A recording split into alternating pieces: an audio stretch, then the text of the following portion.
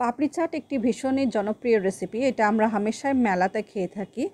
আর এটা খেতে আমার ভীষণই ভালো লাগে, দুর্দান্ত একটা, আর খুবই সহজ তৈরি করা। বাড়িতে আমরা খুব সহজেই পাপড়ি চাটটা বানিয়ে নিতে পারি। তো কীভাবে বানাচ্ছি সেটাই আপনাদের সঙ্গে শেয়ার করছি। আশা করছি ভালো লাগবে। ভালো লাগলে পারে লাইক কমেন্ট আর শেয়ার অবশ্যই করবেন। আজকে আমি বানাবো পাপড়ি এবং পাপড়ি চাট, একদম বাজারের মতন। আসসালামু আলাইকুম ওয়েলকাম টু মাই চ্যানেল আজকে আমি বানাবো পাপড়ি যে পাপড়ি চাটগুলো সাধারণত আমরা মেলাতে খেয়ে থাকি, সেই পাপড়ি চাটের আমি আজকে পাপড়িটা বানাবো। তো পাপড়ি বানানোর জন্য এখানে আমি নিয়ে নিয়েছি আড়াইশো ময়দা। ময়দাটা খুব ভালো করে আমি বেছে নিয়ে নিয়েছি চেলে নিয়ে নিয়েছি। আর এখানে নিয়েছি হাফ টি স্পুন জোয়ান। জোয়ানটাকে একটু হাত দিয়ে ভালো করে ক্রাশ করে দিচ্ছি, একটু মোচড়ি দিচ্ছি, এটাতে কী হবে? ফ্লেভারটা বেরিয়ে বেরিয়ে আসবে।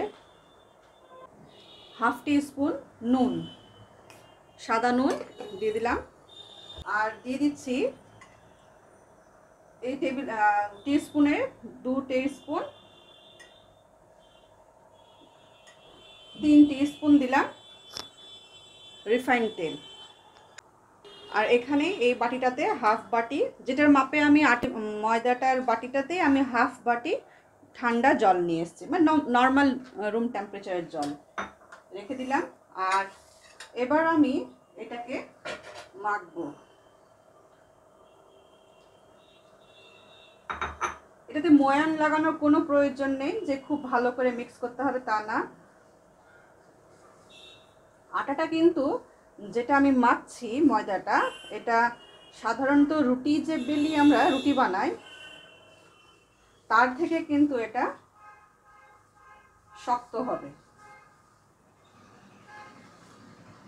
আমি কিন্তু সমস্ত আটাটাতে এখনও জল দিইনি, অল্প একটু জল দিয়েছিলাম আর অল্প জল ছড়িয়ে ছড়িয়ে এটাকে আমি জাস্ট গুছিয়ে নেব।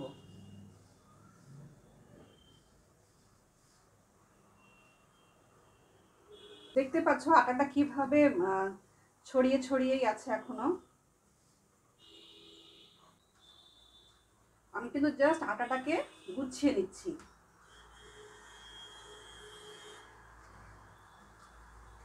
এর মধ্যে জোয়ানটা দেওয়ার একটা কারণ হচ্ছে যে, জোয়ান দিলে পারে হজমটা খুব ভালো হয়। আটাটা একদম ময়দাটা মাখা হয়ে গেছে। দেখো কেমন শক্ত এটা। এটা কিন্তু প্লেন হয়নি গাটা, একদম শক্ত। তো এবার আমি এটার লেচি কেটে নেব। আর এখানে দেখো জল। বেশি অর্ধেক জলটা লেগে গেছে আর কম অর্ধেকটাই রয়েছে এখনও। দুই টেবিল চামচ মতন থেকে গেছে। এটা আমি লেচি কেটে নিচ্ছি।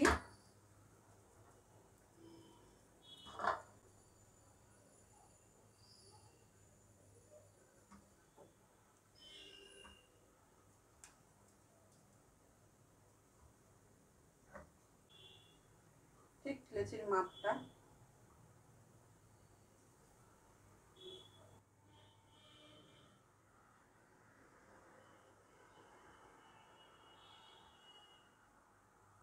পাপড়ি বানানোর জন্য ময়দাটাকে খুব ভালো করে মাখার কোনো প্রয়োজন নেই। জাস্ট অল্প অল্প জল ছড়িয়ে ছড়িয়ে ওটাকে গুছিয়ে নিতে হবে। আর ওটাকে খুব মসৃণ করারও কোনো দরকার নেই আর রেস্টে রাখারও কোনো দরকার নেই। জাস্ট জল ছড়িয়ে ছড়িয়ে গুছিয়ে নাও, গুছিয়ে নিয়ে ওটা লেচি কেটে সাথে সাথেই বেলে নাও। এভাবে পাপড়িটা করলে পরে খুব খাস্তা হবে। পাপড়ি বেলতে কিন্তু তেলের প্রয়োজন হয় না। ওটাতে এত শক্ত থাকে আটাটা যে নিজে থেকেই বেলা হয়ে যায়। আর দেখতেই পাচ্ছ, আমি কোনো তেল ব্যবহার করছি না বেলার জন্য। তেল বা শুকনো আটা আমি কিছু ব্যবহার করিনি। জাস্ট এটা আমি বেলে দিচ্ছি আর ওটাতেই উঠে যাচ্ছে ওটা। আমি এক এক জায়গাতে ছটা সাতটা করে পাপড়ি রাখছি। আর এই টাইমটাই কিন্তু ফ্যান বা ফ্যান চালানো চলবে না বা এসি চালানো চলবে না। মানে কোনো রকম এগুলো যেন ঠান্ডা ওপর থেকে শুকিয়ে না যায়।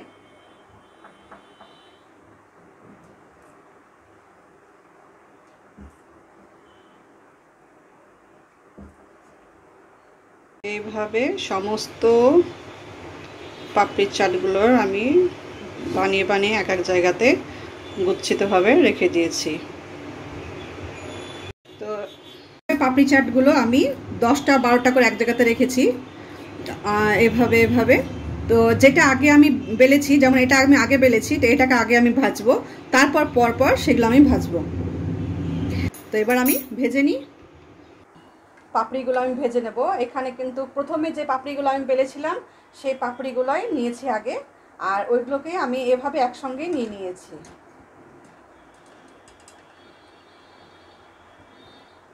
আর তেলটা একদম লো ফ্লেমেই আছে। মানে গরম, খুব বেশি গরম হয়নি লো থেকে মিডিয়ামের দিকে গরম আছে। তো একটু সময় নিয়ে নিয়ে ভাজতে হবে এটাকে আমাকে। দেখো, দেওয়া মাত্রই আস্তে আস্তে বাবলসগুলো উঠছে। মানে খুব যে আমি গরম তেলে দিয়েছি তা না, একদম লো ফ্লেমের দিকে এটা আছে। আর এভাবে একসঙ্গে দিলেও পরে আস্তে আস্তে এরা খুলে যাবে। সমস্ত পাপড়িগুলো কিন্তু খুলে গেছে। কেউ কারির গায়ে লেগে নেই। পাপড়িগুলোর কালার অনেকটাই আস্তে আস্তে আস্তে লেগেছে। পাপড়িটা একদম আমাকে গোল্ডেন ব্রাউন করে ভাজতে হবে।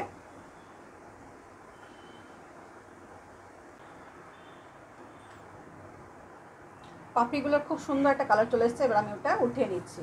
এবার বাকি যে, দেখো, একদম কালারটা কি সুন্দর। লাইট ব্রাউন কালার, এটা আস্তে আস্তে আরও ডার্ক হয়ে যাবে। এটা আমি এখন রেখে দিই। নিয়ে চলে এসেছি আমি।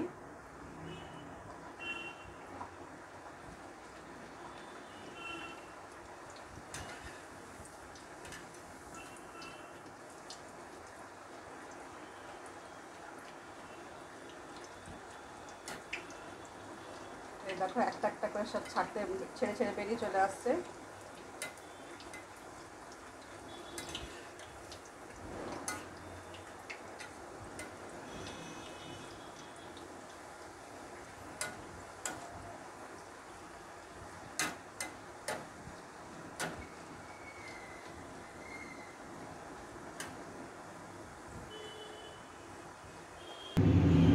যদি তোমাদের মনে হয় যে এটা হয়তো ফুলে যাবে লুচির মতন, তো একটা কাজ করতে পারো।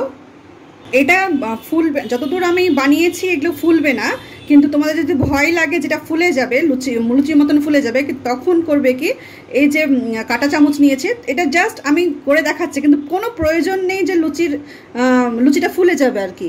এভাবে একটু ব্রেক কাটা চামচ দিয়ে এটাকে ফুটো করে দিতে পারো ছেদা। তাহলে এটাকে তোমার সন্দেহ থাকবে না মানে এটা লুচির মতন ফুলে আর যাবে না। কিন্তু এমনিতেও এটা ফুলবে না লুচির মতন। তো তাও আমি করে দিচ্ছি এগুলো।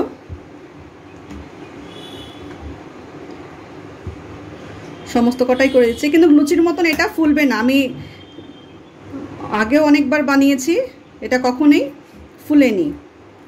কিন্তু তোমাদের সন্দেহের জন্য আমি এটা করে দিচ্ছি।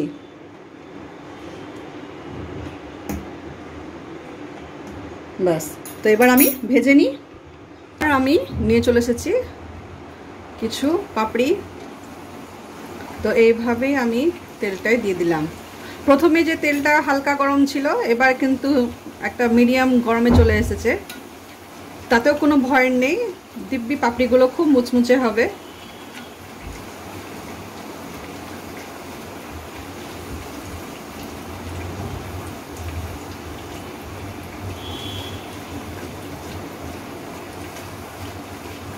এইভাবে করতে করতে একটা একটা করে খুলে বেরিয়ে যাবে তারা।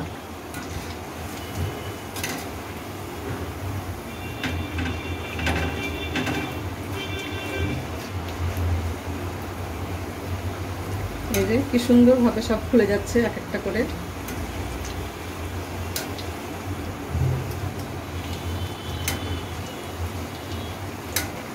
প্রত্যেকটা পাপড়ি একটা একটা করে খুলে যাবে। খুব সুন্দর এটা হয়ে গেছে।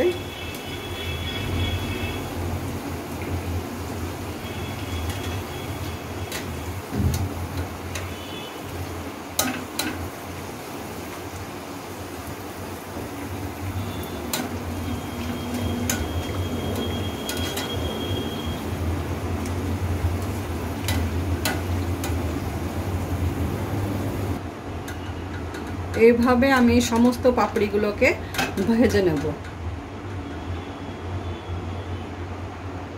পাপড়িগুলো শুধু চাট বানিয়েই খাওয়া যেতে পারে না, এগুলো চায়ের সঙ্গেও শুধু মুখে খাওয়া যেতে পারে, ভীষণই মজা, অবশ্যই ট্রাই করবেন। এটা কতটা ক্রিস্পি হয়েছে আমি দেখাই এটাগুলো গরম, ভিতর থেকে বের করি। সমস্ত ভেঙে একদম চুরচুর হয়ে যাচ্ছে। এটা ভীষণই খাস্তা হয়েছে। আবারও একটা দেখায় এগুলো সমস্ত কিন্তু ওপরেরগুলো গরম, তলারগুলো ঠান্ডা হয়েছে বলে আমি এগুলোকে ভেঙে দেখাচ্ছি। এটা কি সুন্দর ক্রিস্পি একদম। ভেঙে চুরচুর।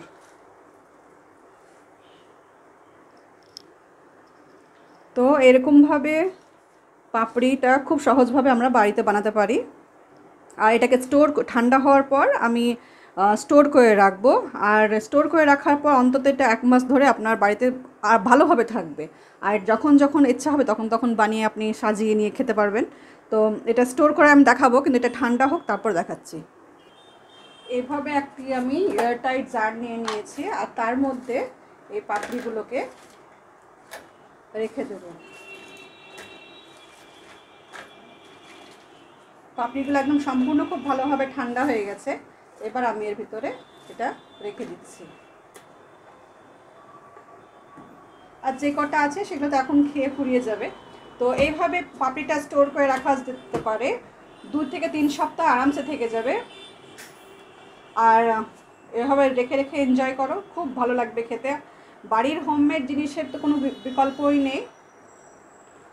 চাট বানানোর জন্য আমি নিয়ে নিয়েছি এখানে সেদ্ধ আলু। চপ করে কেটে নিয়েছি। তারপর এখানে নিয়েছি টমেটো, এটাও কুচি কুচি করে কেটে নিয়েছি। নিয়েছি শসা, এটাও কুচি কুচি কেটে নিয়েছি। এখানে নিয়েছি গাজর গাজরটাও কেটে নিয়েছি আর এক এক টুকরো পাতিলেবু নিয়েছি ওটার পাতিলেবুর রস দেওয়ার জন্য। আর এখানে নিয়েছি পেঁয়াজ কুচোনো আর লঙ্কা কুচোনো। এখানে আছে ধনে পাতার চাটনি। এখানে আছে তেঁতুলের চাটনি। এটা ফ্যাটানো দই, সেও ভাজা, আর এখানে হচ্ছে ধনে পাতা, আর এই হচ্ছে আমার হোমমেড পাপড়ি। আর এখানে হচ্ছে পাপড়ি চাট বানানোর জন্য চাট মশলা। তো এখানে নিয়েছি আমি গোলমরিচ। চাট মশলাটা আমি বাড়িতেও তৈরি করছি, তার জন্য নিয়েছি গোলমরিচ, নিয়েছি লাল লঙ্কার গুঁড়ো, এখানে নিয়েছি জিরের গুঁড়ো, আর এটা নিয়েছি বিট নুন। এবার এই চারটিকে একসঙ্গে আমি মিশিয়ে নেব, দিয়ে একটা মশলা তৈরি করে নেব।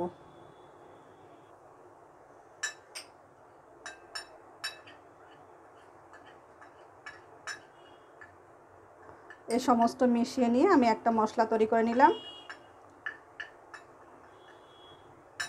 এটা এবার চাটের ওপরে ছড়ানো হবে।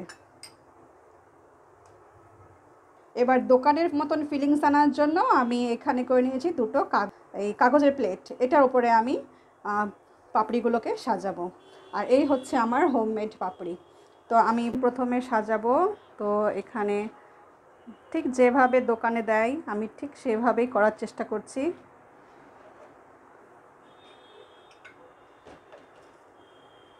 এখানে পাঁচটা, চারটে, পাঁচটা, ছটা পাপড়ি সাজিয়ে দিলাম।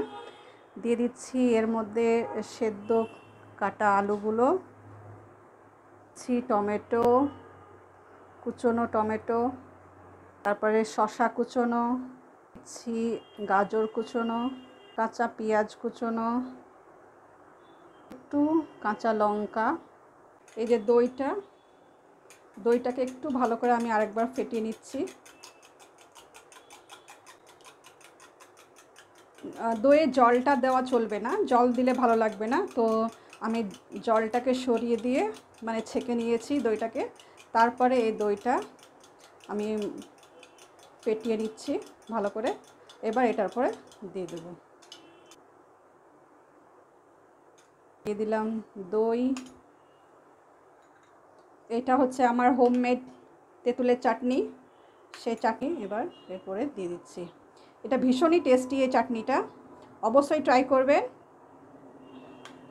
আমি এর আগের ভিডিওতে এই চাটনিটার রেসিপিটা দিয়েছি, অবশ্যই দেখে নেবে। আর এটা ধনে পাতার চাটনি। এটাও হোমমেড এটা খুবই সহজ, এই ধনে পাতার চাটনিটা বানানো। একদম সহজ এটা। একটু দিয়ে দিচ্ছি সেও ভাজা।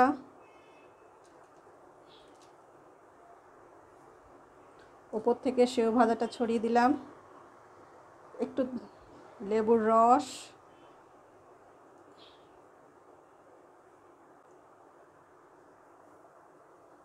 একটু ধনে পাতা। আবার আর একটু আমি এটার উপরে দিয়ে দিচ্ছি আমার চাটনিটা। আর বাকি আছে আমার চাট মশলাটা যেটা বানিয়েছিলাম, সেইটা দিতে বাকি আছে। তো এই হচ্ছে আমার চাট মশলা। ওপর থেকে জাস্ট একটু আমি ছড়িয়ে দিচ্ছি এটা। ব্যাস, আর দেবো না।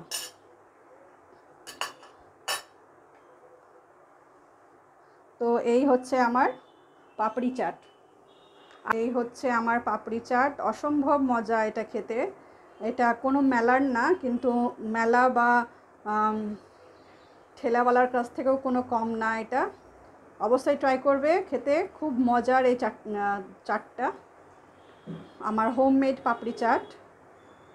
ভালো লাগলে পরে অবশ্যই লাইক কমেন্ট আর শেয়ার অবশ্যই করবে ফ্রেন্ডস আর রিলেটিভসদের মধ্যে। একটু কাছে থেকে দেখায়।